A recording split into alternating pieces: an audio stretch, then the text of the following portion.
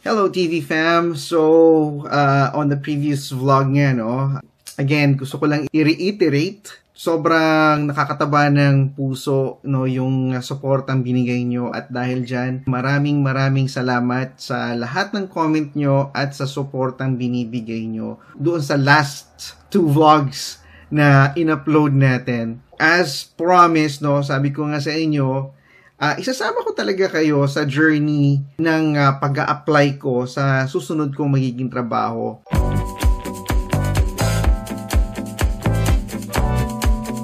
So as part of this journey, alam nyo naman na pag nag apply tayo, ang number one key para maging successful at ma-recognize tayo ng mga potential employers is ang ating resume.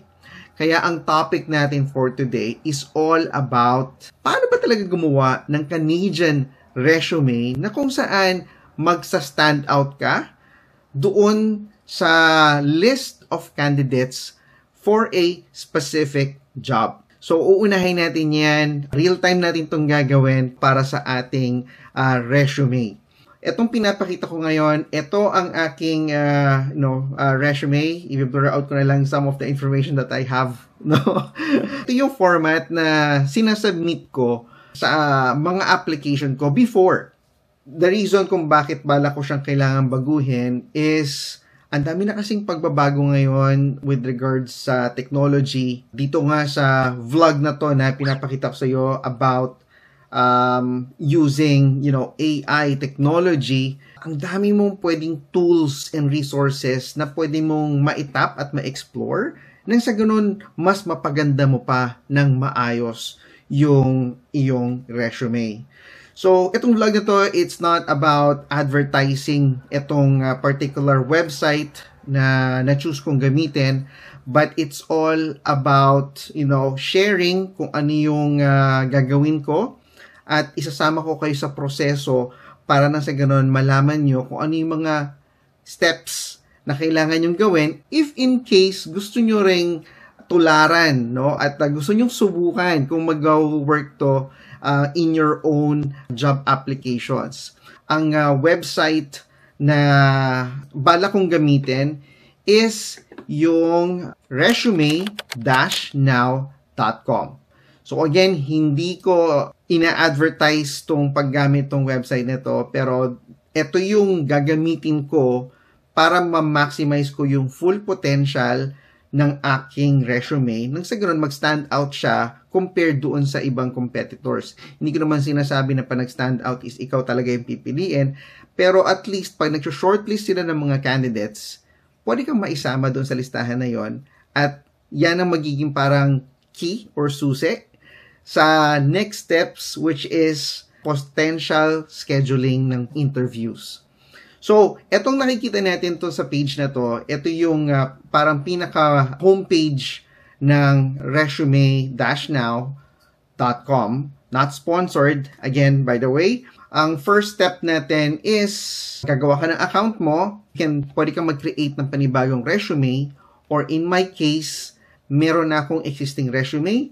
Pwede ko siyang i-drop dito yung file. So, gagawin natin yon. So, lilipat tayo. Punta tayo sa resume. And then, kukuha tayo ng file natin. Click nyo lang yung plus sign. New resume. And then, dito, uh, mamimili kayo ng template na gusto nyo. Now, magtatanong siguro kayo, maganda naman yung format ng resume ko. Bakit ko pa kailangan baguhin? Kasi, ang uh, isa dyan sa mga ito, part ito ng mga tip na pwede ko ma-share sa inyo. Pag nag apply ka, lalo na ang target natin, ngayon kasi ang goal natin is makapasok tayo sa public sector, which is government. No? Pag government, specifically, well, private din naman meron ganito, pero majority of the time, meron silang ginagamit na system. Ang tawag dyan is ATS. So, Google natin. Anong ibig sabihin ng ATS? ATS. Ito, ang ibig sabihin ng uh, ATS ang ibig sabihin ng ATS is Applicant Tracking System.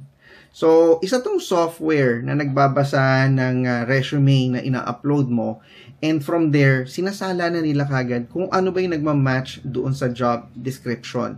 Majority of the time, dapat yung resume mo ATS compliant. Although yung sa akin, ATS compliant na yun before, pero with the new updates ngayon, nung in-upload ko siya, I found out na hindi na siya ATS compliant.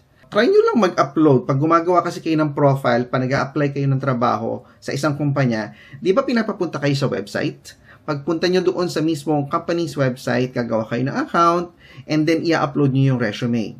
Pag upload nyo ng resume, ilalabas nila ngayon kung ano yung nakuha nilang information doon sa resume. Apparently, nung pag-upload ko nung aking resume, as in yung information niya, yung basic information niya na-capture. Pero pagdating doon sa mga work experience, tsaka yung mga um, education, lahat ng information doon garbled. So, doon pa lang sinasabi na sa'yo kahit na before ATS compliant siya lumalabas, kailangan mo siyang i-update kasi yung system na nagche-check ngayon, hindi na siya kinukonsider as uh, an ATS uh, compliant resume. Kaya ito yung nag-push sa akin to use this specific website. So, babalik tayo dun sa website na yon. Kuha tayo dito ng uh, uh, format. Ano ba yung maka, nakalagay dito na recommended niya? Try natin yung pinaka-simple.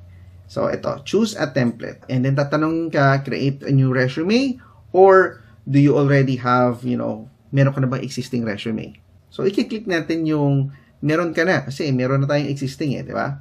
And then from here, tatanungin ka niya uh, na i-upload yung yung lumang resume. So, browse for computer and then uh, punta tayo sa ating uh, resume folder kuha tayo nitong sample natin, and then upload. Okay? And then, click natin yung continue. Ayan, so, kinapture niya na yung ating basic information. Uh, update lang natin, ha? Ang postal code is that. Ito, gawin nating BC. So, next, sabihin niya is reconfirm natin or review natin yung work experience. So, click natin yung continue. Ito, 'di ba? So halimbawa ito, then nandito na tayo sa experience page. Ang kagandahan dito, pinag-usapan natin kanina yung AI, 'di ba? Makikita natin dito, meron siyang tool dito na available na pwede mong gamitin. So, example, click mo to, no? Uh, lalabas dito yung information ng employer mo. Lagay natin. And then, click natin continue. And then ito, makikita nyo tong tab na to, Enhance with AI. No? So, ang gagawin mo dito is, madami kang option. So, babasahin niya na kagad kung ano yung mga experiences na nilagay mo doon or job description na ginagawa mo for that particular role.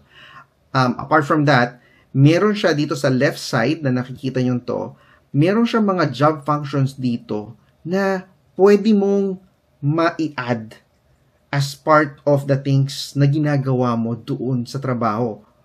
Plus na yan. Kasi meron na siyang recommendation na automatic na pwede mo na lang i-tweak kung gugustuhin mo. In my case, hindi ko na ito tweak kasi nga ang uh, Canadian uh, resume supposedly is if kaya mo siya ma-compress in one page, the better. Maximum would be two pages. So, nag-maintain ako ng tatlo lang na key primary function for every uh, job, I guess, role na inline doon sa hinahanap nila, doon sa ina-applyan ko. So, meron ng mga option na gano'n na pwede mong kunin, i-add mo lang siya. So, i-click mo yung plus sign and then automatically may add siya doon. Now, uh, for my uh, specific experience, ang ginagawa ko is, gagamitin natin yung AI. So, i-highlight mo siya, pagka-highlight mo sa kanya, enhance with AI, tapos makikita nyo, magbibigay siya ng mga options na magpapaganda ng actual initial description mo doon sa role mo as part of your, you know, uh, duties and responsibilities. So, meron kang uh, dito na option 1, 2, and 3, at saka yung original. Pwede mo palitan, no? So, in my case, i-retain ko na lang siya. Pero this is me, gusto kong i-show sa inyo na itong tool na to, it's really helpful. Malaking bagay ito kasi higing attractive siya, in a sense. pagka nag-choose ka ng mga recommended options dito. So, yung next natin, highlight lang din natin and then enhance with AI. Yan, nag-generate na siya. So, meron ka ulit option 1, 2, and 3. Kung ano yung tingin mo na parang magsa-strike out sa'yo na pag binasa mo na to, oh, alam niya yung ginagawa niya. And ito yung nagma-match doon sa job description na nakapost natin. So, again, hindi lang to about your experience. Imi-merge mo yung dalawa. Experience mo plus yung job description, ilagay mo dyan, tapos i-click mo yung enhance with AI. I-check nila yung grammar, imi-mix nila yung, yung dalawang uh, experience at saka yung hinahanap nila into one. And then magbibigay sila ng mga options na pwede mong maselect. Di ba? Mas madali. So, yun yung isa dyan. So, again, may function siya na ganyan. So, halimbawa, masaya na ako sa experience and everything. Uh, kiklik lang natin yung continue. So, happy na ako dyan sa lahat. And then, click natin yung continue for the next phase. Now, ang sabi dito is, add natin yung education. Continue. So, na-capture niya yung education from my existing file. No, kasi nga sabi sa inyo, ATS compliant siya before. Pero bakit ngayon, pag ina-upload ko siya sa mga system ng ina-applyan ko, hindi na tama yung information na kinukuha nila. So, ibig sabihin, hindi na siya ganun ka up-to-date doon sa ATS uh, ah, checking system sa resume nila no, na pag-filter. Meron niyang option, kung makikita nyo, ito-double check na lang naman. And then, makikita mo dito, ano yung mga things na pwede mong mailagay pa as an option. Pero hindi ko na babaguhin. No? For conversation sake lang, I'm just showing you na merong mga gantong option na pwede nyong gamitin na magpapaganda lalo ng inyong resume. Next natin dito, continue natin, would be showcase your skills. Yan. Napaka-importante niyan. Again, from your job description na ina-applyan nyo, kunin nyo yung mga skills na naka-indicate doon and then ilista nyo sila dito. Apart from that, doon pa lang sa pagbasa nila ng resume mo, makikita nila doon yung role mo mababasa na kagad nila kung ano ba yung mga skills na dapat meron yung ganong role. So on this left side again, andyan lahat ng skills na pwede mong ma-add.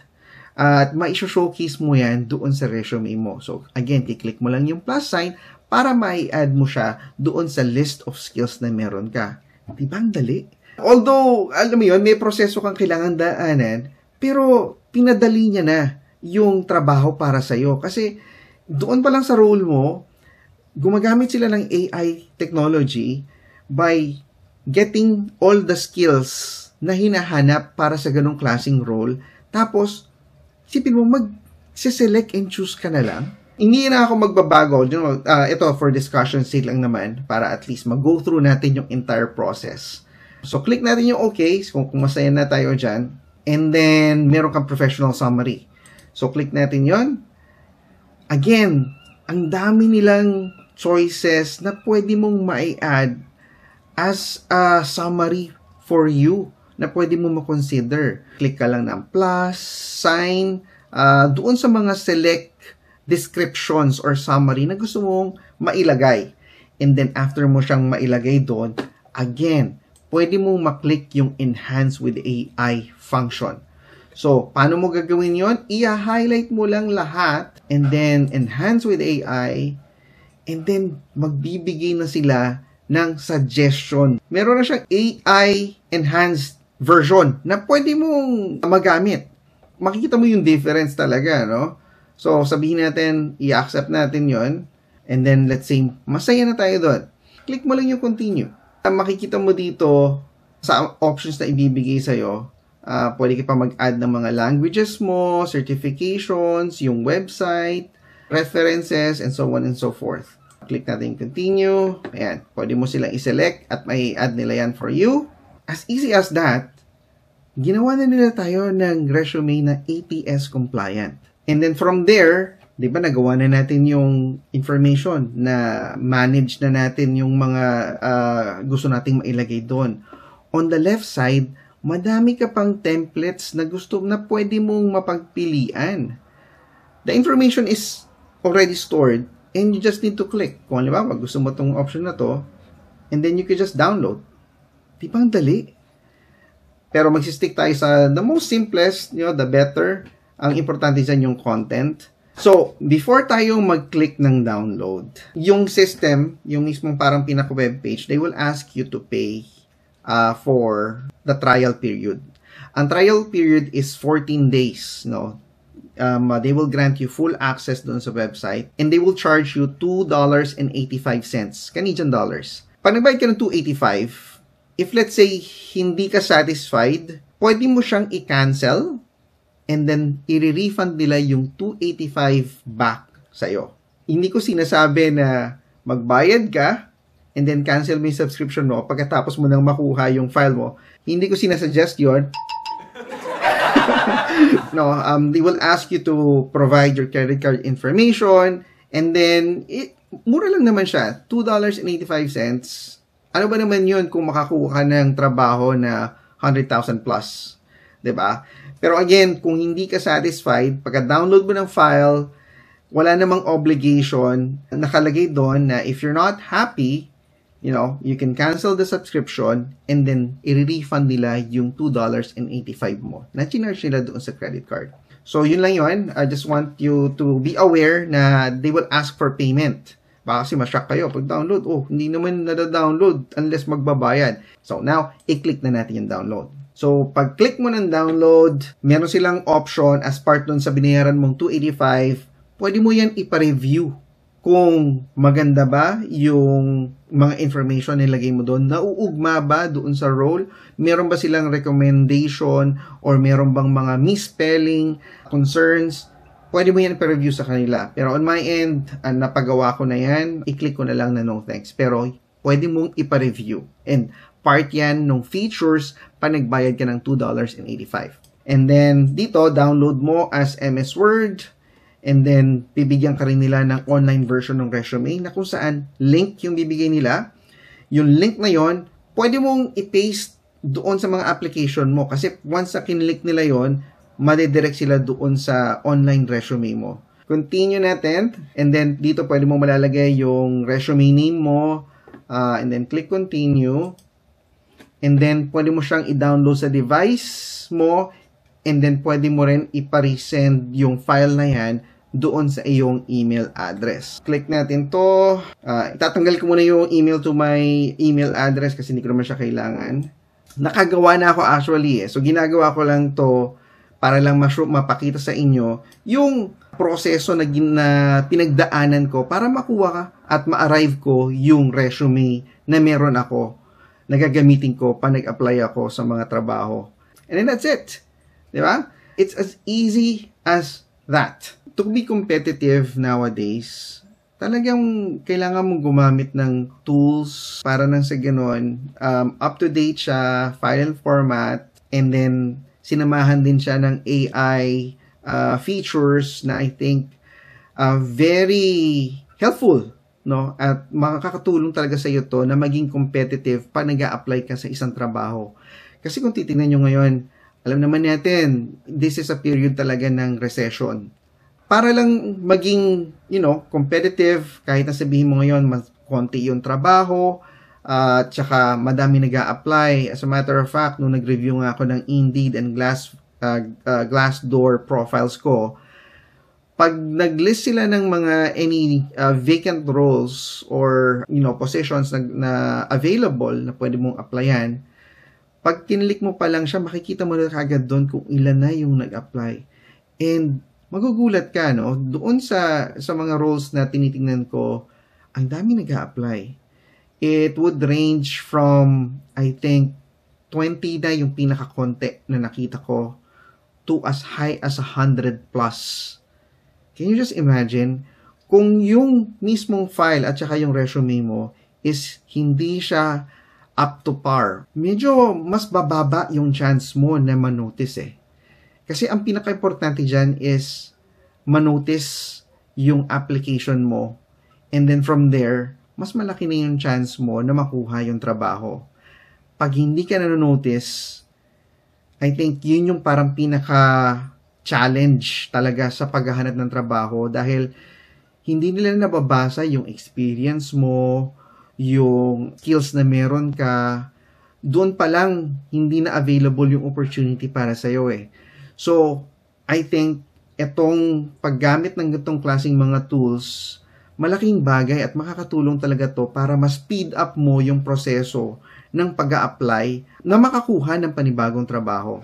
So, yun yung isa sa mga nirecommend ko. So, hindi lang to nag apply sa resume nag apply din to sa cover letter. As a matter of fact, no, dito nga sa file natin, so dito makikita mo, meron ka ditong, you know, meron kang online profile, resume mo, and then cover letter. So, punta tayo dito sa documents. Ayan, so meron na tayong dalawang resume, and then meron ditong tab na cover letter. So, click natin yan.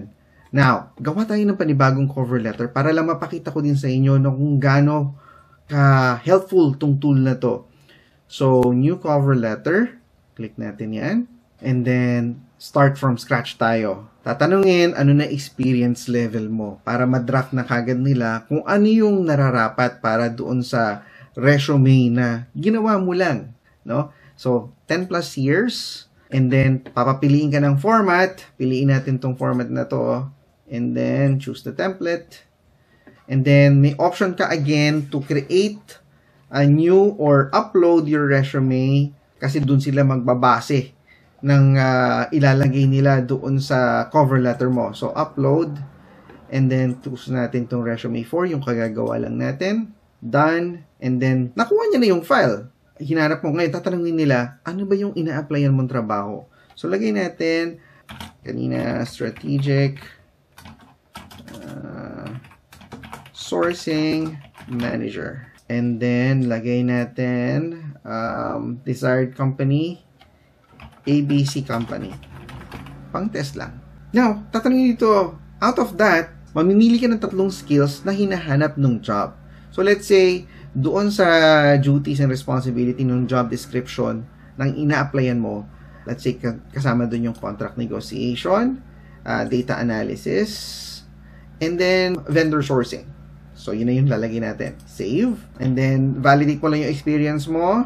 And then, click on continue. Actually, pwede ka nga maglagay ng strengths mo dito eh. So, ayan, may signature ka. And then, na-draft na nila kagad yung uh, cover letter mo. Ganun lang talaga kabilis. So, again, this is in no way na, na ina-advertise natin itong uh, website na to. Hindi ako binayaran to advertise. Actually, ako pa yung nagbayad sa kanila para magamit ko yung tool na to. Pero gusto kong i-share sa inyo kung ano yung steps na ginagawa ko para ma-achieve natin yung long-term goal natin na makapasok sa public sector on our next job.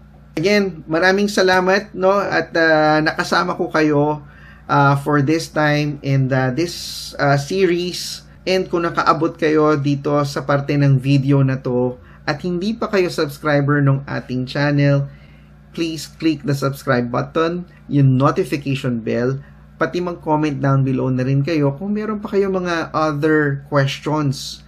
Kung gusto nyo makakuha ng uh, free copy ng ATS format na resume na ginamit ko, comment down below kayo dyan and then i-message kayo para ma-send ko sa inyo yung file and then i-edit nyo na lang yon kung gusto nyo na makuha lang yung parang pinaka-template, no?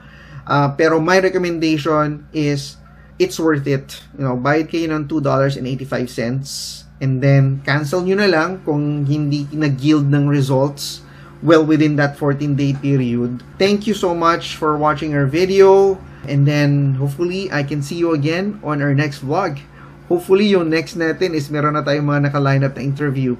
But for now, this is what we've done so far and then uumpisa na nating uh, ipasa yung ating mga resume sa mga companies na mayroong mga uh, job openings doon sa field na kung nasaan meron ako. And then, update ko kayo uh, later on kung ano yung mga naging results. I'll see you again on our next video. Paalam. City of mine, how I love, how I love the city of mine. It never gets me down. City of mine, how I love, how I love this city of mine.